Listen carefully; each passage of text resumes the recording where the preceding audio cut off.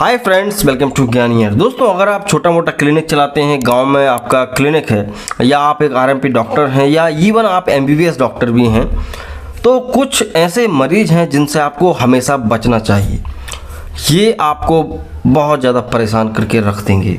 ठीक है ना? तो इन्हीं मरीजों के बारे में इस वीडियो में बताऊँगा आपको कि बचना है, इनका इलाज आपको ना करें तो ज़्यादा बेहतर है। तो वीडियो को पूरा देखें। उससे पहले रिक्वेस्ट है, हमारा चैनल असरदार आयुर्वेद भी है, जिस पे अपन हर्बल जानकारी शेयर करते हैं और ज्ञानियर ब्लॉग्स, जहाँ पे हम कुछ लाइफ स्टाइल ब्लॉग शेयर करते हैं। तो उनको भी आप एक बार चेक कर सकते हैं और सब्सक्राइब करें ज्ञानियर द मेडिकल चैनल को। तो शुरू करते हैं। दोस्तों, कई बार आप देखते हैं कि जब आप बैठे होते हैं अपने क्लिनिक पर तो कोई ना कोई व्यक्ति शराब पीकर आ जाता है। ठीक है ना? बदतमीजी करता है, गाली गलौज करता है। तो ऐसे व्यक्ति आसानी से नहीं जाते हैं क्लिनिक से। तो ऐसे व्यक्तियों से आपको दूर ही रहना, क्योंकि ये व्यक्ति ऐसे होते हैं जो आपसे कुछ भी इलाज करवा सकते हैं और जा सकते हैं और दवाइयाँ खा सकते हैं शराब के साथ, जो कि रिस्की है बहुत ज़्यादा। कई बार ऐसा देखा गया है कि लोग आते हैं शराब पीकर डॉक्टर के मज़े लेते हैं, डॉक्टर उनको भगाने की कोशिश करता है, लेकिन वो भागते नहीं उस कंडीशन में सिर्फ़ आपको ये करना है भाई आप किसी आस पड़ोस के व्यक्ति को फ़ोन लगा बुलाएँ और उसको हटवाएँ। वो आपके दूसरे मरीजों को भी परेशान करेगा और आपसे ज़बरदस्ती कोई ना कोई नींद की दवाई मांगेगा या कोई ना कोई ऐसी इलाज करा के जाएगा कि ये देखो, ये चोट लग गई है। तो आपको उस समय तो उसको दवाई नहीं देना क्योंकि उसका कोई भरोसा नहीं है कि वो कब गोली खा ले। शराब के साथ गोली कोई भी दवाई नहीं दी जाती है। तो ऐसे व्यक्तियों से आपको बचना ही है। इनको इलाज ना दें तो ज़्यादा बेहतर है। ठीक है? आप कह सकते हैं, आप सुबह आकर दिखाएँ दोस्तों, यहाँ पे कि कई बार ऐसे मरीज़ आते हैं कि अक्सर देखा है मैंने भी ये, कि वो मरीज़ आया, फटाक से आके बोलता है, डॉक्टर साहब, एक दस्त की गोली दे दो। डॉक्टर साहब, एक गैस की गोली दे दो। डॉक्टर साहब, एक जो है, सर दर्द की गोली दे दो। तो ऐसी कंडीशन में क्या होता है कि आप उसको फटाक से एक गोली काट कर दे देते हैं। तो ये ठीक है, कुछ समय के लिए ठीक है, लेकिन इसकी लोगों को लत लग जाती है, आदत पड़ जाती है। वो प्रॉपर आपका ट्रीटमेंट नहीं लेंगे। बस उनको पता है कि भाई, एक दो रुपये में डॉक्टर दे ही देता है, गोली फ्री में ही दे देते हैं तो गोली लेके जाओ, खा लो।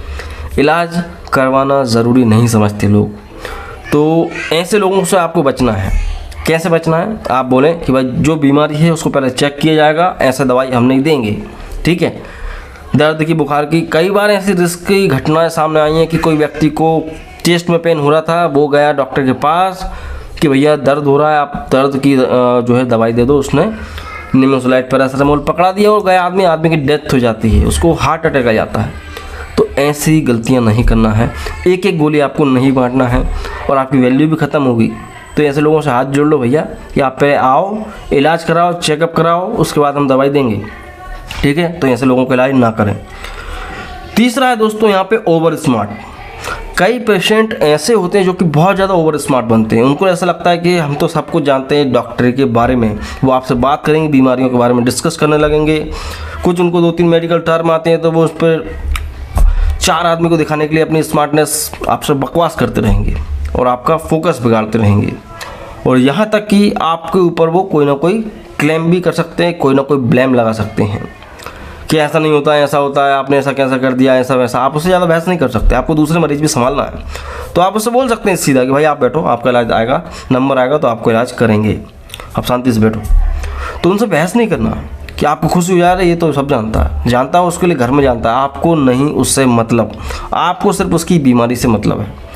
तो ऐसे लोगों से भी हाथ जोड़ लो भैया कि इलाज कराना हो तो कराओ, नहीं तो आप जा सकते हैं। क्योंकि ये से मरीज़ बैठे बैठे दूसरे मरीजों को भी जो है डिस्ट्रैक्ट करते हैं। चौथा नंबर का मरीज़ ऐसा है दोस्तों, जो कि कई बार अक्सर देखा गया है कि एक्सीडेंटल्स होते हैं।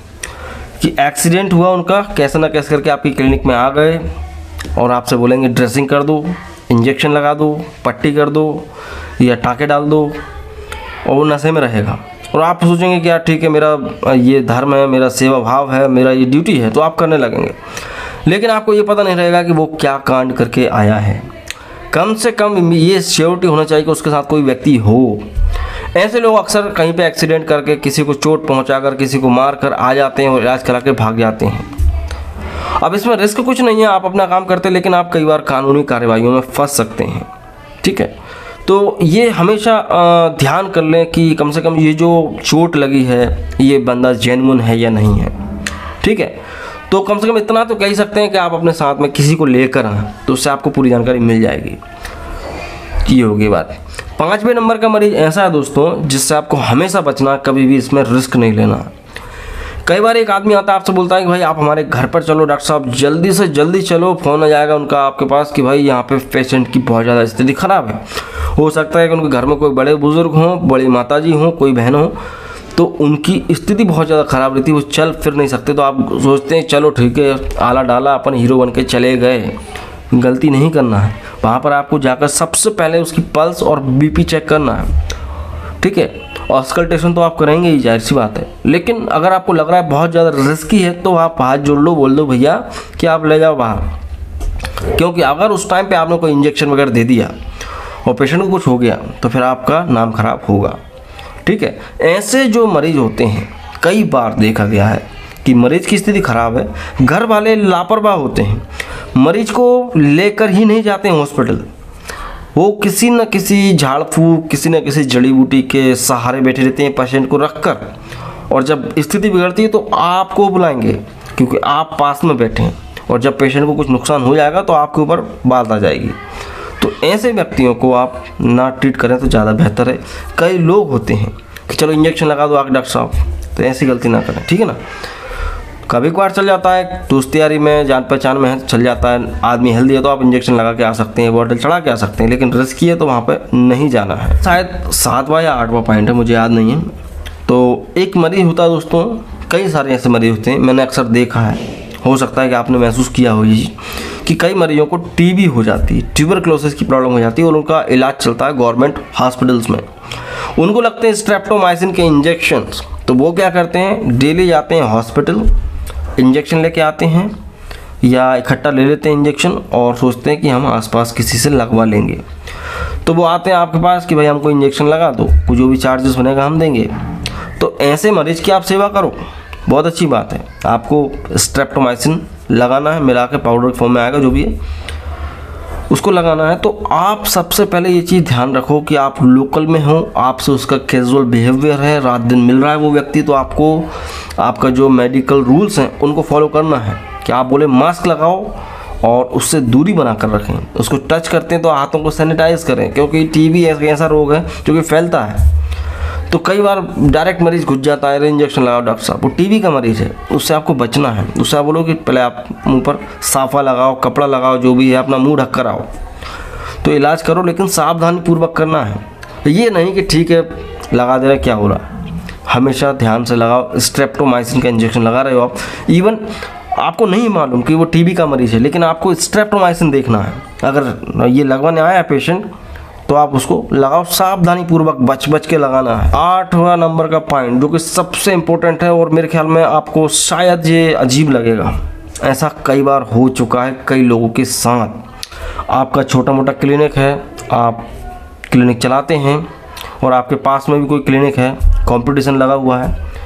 इस दौरान हो सकता है कि आपके साथ कुछ ऐसी हरकत हो जाए जो कि आपको पता होना चाहिए। कभी भी ऐसे मरीज़ का इलाज नहीं करना है जो अकेला आया हो, ठीक है, और यंग हो, और ख़ास तौर पर लड़की हो। लड़की हो, यंग हो, अकेली आई है और उसको इंजेक्शन्स वगैरह लगवाना तो एक रूल बना लो आप कि कोई भी लड़की है तो उससे बोलो, आप फैमिली के साथ आओ। फैमिली के साथ उसको बुलाओ। आप अकेले में लड़की को इंजेक्शन लगाएँगे तो बहुत ज़्यादा रिस्क है कि आपके साथ कोई ना कोई फ्रॉड हो सकता है, स्कैम हो सकता है। तो ऐसे चीज़ों से बचना है।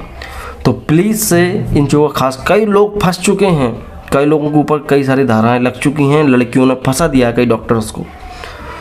तो होता है, कई बार ऐसा होता है, कई लोग मिल जाते हैं लालची लोग। तो ऐसे मरीज़ को आप अकेले में ना डील करें तो ज़्यादा बेहतर है। आप बोल सकते हैं कि आप किसी को लेके आए घर से। एक लास्ट पॉइंट है दोस्तों, जो कि बहुत ज़्यादा इंपॉर्टेंट है कि कई बार जब आप सीट पर बैठे होते हैं तो आपको ऐसे मरीज़ मिलते हैं आप कुछ सामान उठाने गए तो मरीज़ आपकी सीट पर आकर बैठ के देखने लगता है। ये गलती नहीं करना। ऐसे मरीजों से बचना है।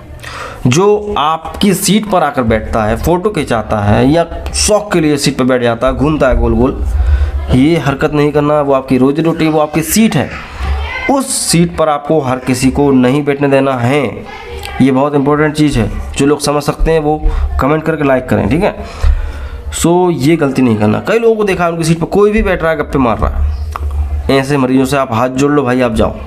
ठीक है? ये आपकी पूरी की पूरी प्रैक्टिस को ख़राब कर सकते हैं। आपकी वैल्यू ख़राब कर सकते हैं। आपका पूरा इंप्रेशन ख़राब कर सकते हैं। तो ये कुछ मरीज़ थे जिनसे आपको बचना है। ठीक है? और वीडियो आपको अच्छा लगा है तो लाइक कर सकते हैं, चैनल अपना चैनल को सब्सक्राइब कर सकते हैं। इसी तरह की वीडियोस देखने के लिए, मैं हूँ शिवम, एक रजिस्टर्ड फार्मासिस्ट क्लिनिकल एक्सपीरियंस और यहाँ पर मैं शेयर करता हूँ आपको मेडिकल की जानकारियाँ। ठीक है तो मैं मिलता हूँ अगले वीडियो में, जय हिंद बंदे मातरम।